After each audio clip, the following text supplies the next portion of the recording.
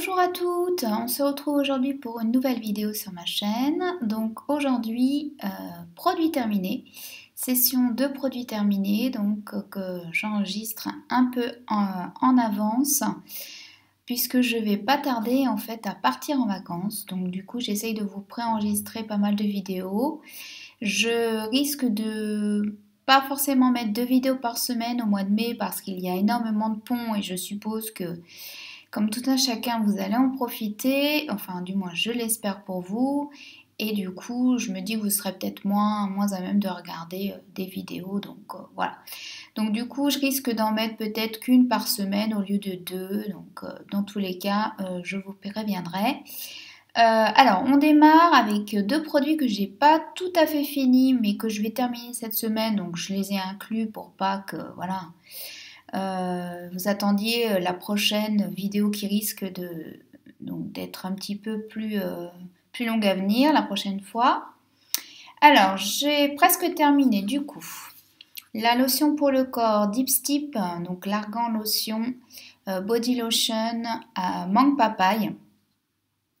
Donc que je, je, prends sur iHerb, qui est une tuerie qui sent donc la mangue et la papaye, mais moi, bizarrement, je trouve que ça sent plus euh, l'ananas parfois quand je l'applique. Donc euh, super produit, très hydratante, euh, confort incroyable, parfum de dingue. Donc oui, je rachète, pas forcément ce parfum-là. pas dans l'immédiat non plus parce que là je suis repartie sur mes beurres corporels de chez Pétale Fraîche que j'ai découvert l'année dernière que j'avais adoré, qui fait aussi des parfums des parfums exotiques de foufou. Donc euh, celle-ci, euh, j'attends de voir s'il y a d'autres parfums qui reviennent en stock sur ailleurs. Mais à ce moment-là, effectivement, j'en reprendrai. Mais oui, je vous les conseille, euh, bien évidemment. Alors, sinon, j'ai pratiquement terminé. Alors là, je vous demande de faire le silence. Malheureusement, mon Blaze Bomb est terminé. Alors, pratiquement terminé. Là, il m'en reste vraiment très peu. Je vais le finir cette semaine ce parfum de dingue de fleurs d'oranger que j'adore. Alors Léa Lani a sorti le parfum, le, parfum pour se parfumer hein, de, même, euh, la même senteur que le Blaze. Donc je pense que je vais pas tarder à succomber pour cet été, c'est sûr, parce que c'est vraiment un parfum de, de dingue que j'adore. À chaque fois que je l'ouvre, c'est un petit bonheur. Et euh, ce baume, bah, je vais le terminer pile poil euh, au moment des beaux jours, donc c'est top parce que je l'utilise essentiellement en automne et en hiver. Donc là, je vais repartir sur des textures plus légères, je pense sérum huileux et à queue. Et puis ça suffira avec une protection, euh, crème protection solaire, ça suffira amplement, mais je vous le recommande si vous avez la peau sèche, déshydratée, qui présente des rougeurs, ce genre de choses, il est superbe. Donc euh, moi, un pot, euh, ça fait déjà au moins le troisième quatrième pot que j'achète de celui-ci. Hein. C'est un indispensable pour moi. Si je ne l'ai pas en hiver, c'est pas possible. Et euh, il me fait environ trois mois, je crois, le pot. Donc voilà.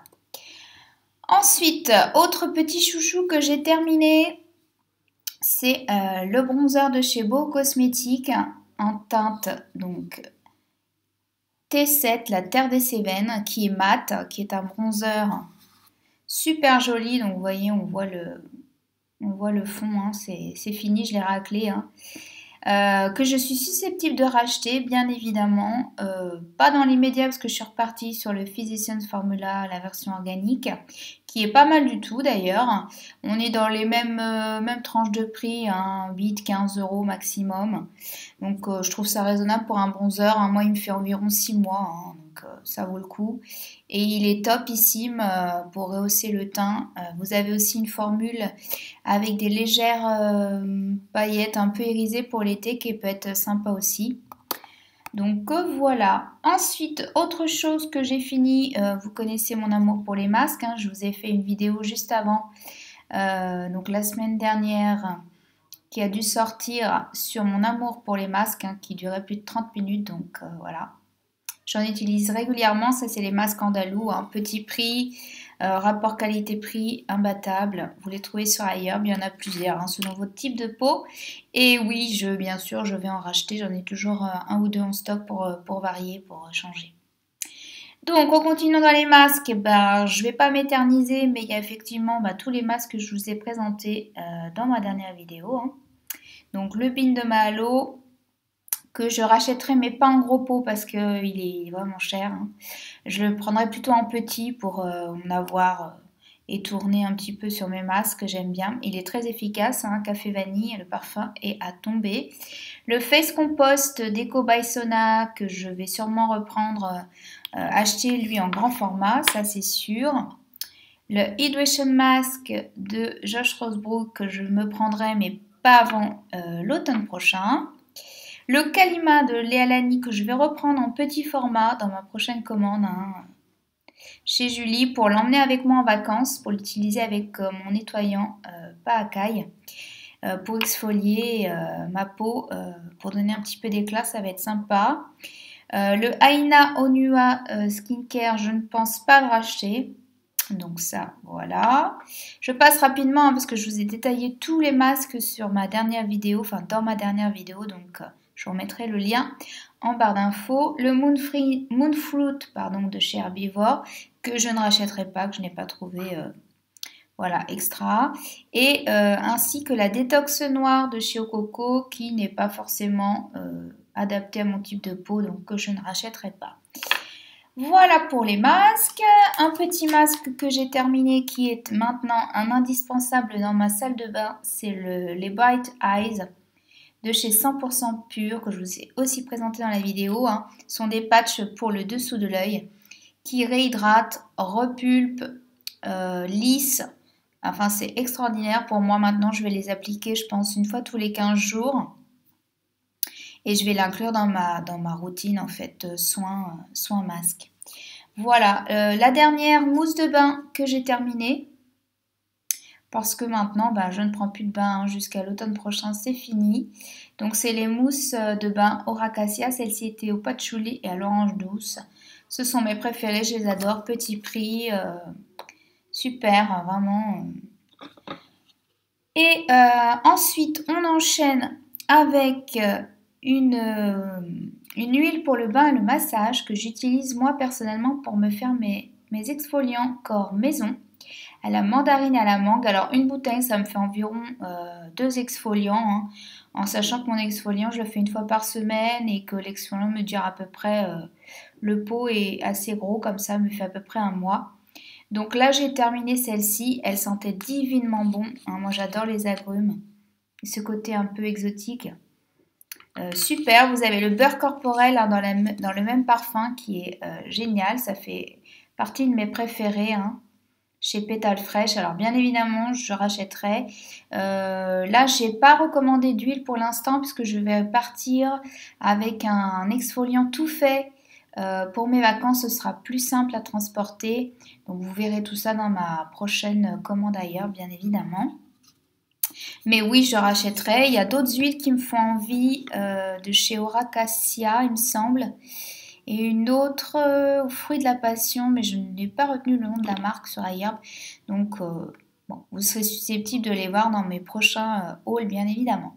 Alors, quelque chose que, j'ai fini, mais enfin, je ne sais pas si on peut dire appeler ça fini, c'est surtout que je vais la, je vais la changer, c'est mon éponge Conjac. Donc euh, j'avais utilisé ce genre d'éponge euh, pour rincer mes masques, nettoyer mon visage euh, il y a un peu plus de deux ans. Maintenant j'avais arrêté de les utiliser, j'étais passée aux, lingettes donc réutilisables. et franchement c'est topissime, hein, j'avais oublié, mais c'est vraiment très très bien, très pratique.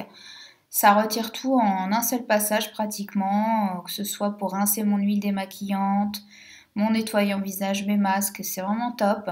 Celles-ci viennent euh, de chez Andalou, elles sont vendues en lot de 2 euh, au prix de 5 euros environ et elles sont top. Donc là, elles sont roses, euh, donc destinées aux peaux sensibles et j'en ai une autre, donc j'ai entamé la deuxième en forme de cœur qui est d'ailleurs plus sympa parce que plus, plus grande et du coup vraiment en un seul passage on retire tout, c'est topissime. Alors j'ai dû la garder un peu plus d'un mois, hein. euh, je sais pas vous si vous en avez, combien de temps vous les gardez, comment vous les entretenez, euh, ce que vous les passez. Euh, donc vous les faites à l'eau, chauffer à l'eau, euh, à l'eau chaude aussi comme moi je fais, je sais pas. Dites-moi si vous avez des conseils hein, pour, voilà, pour les conserver. Et puis, mais c'est vraiment topissime, hein. c'est très doux pour la peau. voilà. Super. Alors, du coup, je vais enchaîner avec deux échantillons que j'ai pu tester, que j'ai ressorti de mes placards, que j'avais depuis un moment, de chez Daphnas, donc la marque espagnole. Et du coup, je les ai ressortis pour les tester parce que comme je pars en Espagne pour mes vacances, je vais notamment aller à quelques jours à Valence. Euh, et il y a une boutique euh, Ecolux là-bas qui, euh, qui vend la marque Daphnas, entre autres. Hein. il y a d'autres marques aussi. Et donc je me suis dit, si je teste un produit et puis que j'ai un coup de cœur, ben, je me l'achèterai là-bas. Du coup, ça m'évitera de, de passer commande. Donc j'ai testé le Cleanser Recovery, du coup, c'est ça que je vous montrais depuis tout à l'heure, hein, et le soin contour des yeux. Alors le soin contour des yeux, l'échantillon était quand même assez avantageux. Du coup, j'ai mis dans un petit pot et je pense euh, voilà, pouvoir l'utiliser sur euh, deux, peut-être 2-3 deux, trois, semaines hein, parce qu'il en faut vraiment très peu. Il a une texture gel, j'aurais dû vous l'amener, j'ai pas pensé, euh, avec de l'aloe vera à l'intérieur. Alors par contre, il pénètre extrêmement vite. Il a ce côté tenseur tout de suite sur le dessous de l'œil, donc ça peut surprendre au départ. Et j'ai eu la bonne idée de l'appliquer le soir du coup parce que effectivement, bah, comme euh, la plupart des produits à l'aloe vera, en tout cas sur ma peau, ils ont tendance à pelucher si vous les travaillez trop. Euh, moi, c'est vraiment, je le dépose, je le tapote un peu et basta, j'y touche plus parce que effectivement, sinon, si vous, si vous massez, ça peluche un petit peu. Donc, avant de me maquiller, je pense pas l'utiliser. Hein, je vais rester sur mon Coffee Bean de 100% pur. Mais par contre, le soir, euh, ouais, ouais, il est, vraiment, il est vraiment pas mal. Après, il n'est pas donné. Mais euh, bon, Daphna, c'est une marque qui a reçu, les, qui a reçu des Beauty Awards, il me semble, cette année, qui a été primée. Euh. Donc voilà, qui me fait bien envie. Après, c'est pas donné. le Cleanser Recovery était vraiment très riche. Ouais, très sympa pour une peau sèche déshydratée comme la mienne, euh, ça peut être pas mal. Après, plutôt euh, automne-hiver que maintenant la belle saison, mais je me dis bon, je l'aurai en backup éventuellement si, euh, si je vois que le parfum me plaît et puis qu'il y a d'autres produits, pourquoi pas. ce sera l'occasion de découvrir. Donc, donc voilà.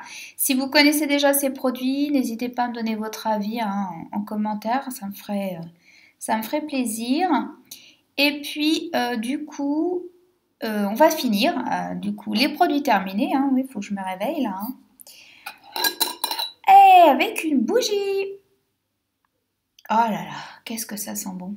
Donc, la bougie PF Candle. Hein, au pamplemousse. Vous connaissez mon amour pour les agrumes.